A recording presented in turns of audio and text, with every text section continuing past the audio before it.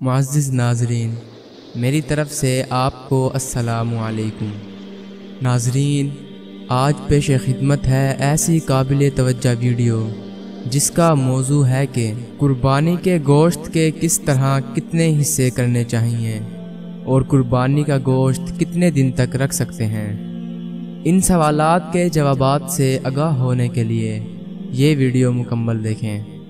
Video का बाकायदा आगाज़ करने से कबल आपके गोश गुजार करना चाहता हूँ कि आप हमारे चैनल इस्लामिक गोल्डन स्टोरीज़ को ज़रूर सब्सक्राइब करें और साथ ही मौजूद घंटी के बटन को भी दबा दें, ताकि आपको हमारी हर आने वाली वीडियो पर वक्त मिल सके।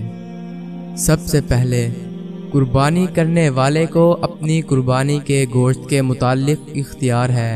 चाहे सारा गोश्त अपने घर रख ले या सारा गोश्त खैरात कर दे या सारा दोस्तों और अजीज़ों में तकसीम कर दे। अफजल ये है कि सारे गोश्त के तीन हिस्से कर ले। एक हिस्सा खुद रख ले और एक तिहाई हिस्सा अपने रिश्तेदारों को हदिया पहुँचा दे और एक तिहाई हिस्सा फ़कीरों और महताजों को दे दें। खैरात करने में एक तिहाई से कम न करें तो बहुत अच्छा है। अगर एक गाय, बैल, भैंस या ऊँट में सात आदमी मिलकर शरीक हुए और कुर्बानी की तो अब उसका गोश्त बाहम अंदाजे से तकसीम ना करें, बल्कि खूब ठीक ठीक वज़न करके बांटें। अगर किसी के हिस्से में गोश्त कम हो गया तो सूद हो जाएगा, और सूद लेने वाला और देने वाला। चाहे रजामंदी से ये लेन देन करें, सख्त गुनाहगार होते हैं। और जिसके हिस्से में गोश्त ज़्यादा चला गया, उसको भी इसका खाना जायज़ नहीं। बहरहाल सारे शुरा अगरचा खुश दिली से हर एक शरीक को इजाज़त दे दें कि जो शरीक जितना चाहे गोश्त ले जाए, तब भी किसी शरीक को इस तरह लेना जायज़ नहीं। अलबत् अगर गोश्त की तकसीम में सीरी, पाए कले और खाल को भी शामिल कर लिया जाए और मसलन इस तरह तकसीम किया जाए कि चार हिस्सों में एक एक पाया रख दिया जाए और बाकी तीन हिस्सों में से एक में खाल, एक में सीरी मगज़ एक में ज़बान और कल्ले रख दिए जाएँ तो फिर वज़न करके गोश्त तकसीम करना ज़रूरी नहीं। अंदाज़ा से गोश्त के सात हिस्से करके मजकूरा चीज़ों में रख दिए जाएँ तो बग़ैर तोले भी महज अंदाजे से गोश्त तकसीम कर लेना जायज़ है। अगर एक जानवर में कई शरीक हैं और सब गोश्त आपस में तकसीम नहीं करते, बल्कि इजतमाही तौर पर ही फुकरा और अहबाब में तकसीम करना चाहते हैं या पका कर खिलाना चाहते हैं तो भी तकसीम ज़रूरी नहीं है। अगर शुरा आपस में तकसीम करेंगे तो उसमें वज़न के लिहाज से बराबरी ज़रूरी है, या वो सूरत इख्तियार की जाए, जो ऊपर के मसले में ज़िक्र हुई है। कुर्बानी का गोश्त फ़रोख्त करना हराम है।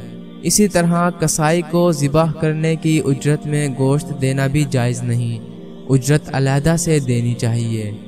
अगर किसी ने गलती से ये जानबूझकर कुर्बानी का गोश्त फरोख्त कर दिया तो इतने गोश्त की कीमत सदका करें और फिर सदके दिल से तोबा करें और आइंदा एहतियात करें। कुर्बानी के जानवर की चर्बी छीछड़े कसाई को मजदूरी में देना जायज़ नहीं। मजदूरी अपने पास से अलग दें और बिला मुआवजा देना दुरुस्त है। कुर्बानी के गोश्त को कितने दिन रख सकते हैं?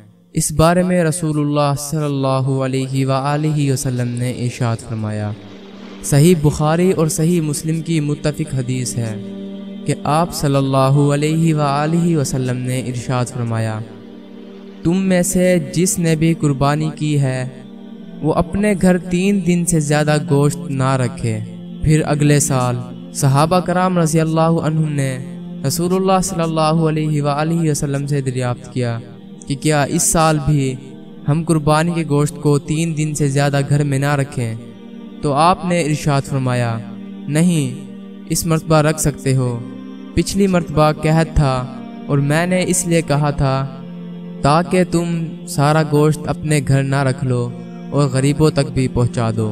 लेकिन अब तुम गोश्त खुद खा भी सकते हो, गरीबों को दे भी सकते हो और तीन दिन से ज़्यादा घर में रख भी सकते हो। नाजरीन, मेरी अल्लाह ताला से दुआ है कि अल्लाह ताला आपको तोफ़ी अदा फरमाए कि आप कुर्बानी के गोश्त को सही तरीके से तकसीम कर सकें। आमीन। नाजरीन, मुझे उम्मीद है कि आपको हमारी आज की काविश बहुत पसंद आएगी। चनाचा आप अपनी मोहब्बत का इजहार करते हुए हमारी इस वीडियो को लाइक कर दीजिए। कमेंट में आप अपनी राय का इजहार कीजिए। और इस वीडियो को सदका जारिया समझते हुए अपने अज़ीज़ व अकारब, दोस्तों और अहबाब के साथ शेयर कीजिए। अगर आप ऐसी इस्लामी मालूमती वीडियो देखना चाहते हैं तो हमारे साथ जुड़े रहें। जिन नाजरीन ने अभी तक हमारा चैनल सब्सक्राइब नहीं किया तो जल्दी से चैनल को सब्सक्राइब कर दें। वसलाम वरहमल वर्का